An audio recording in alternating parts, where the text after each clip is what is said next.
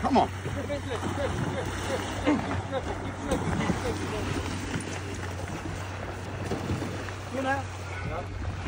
Seal oil.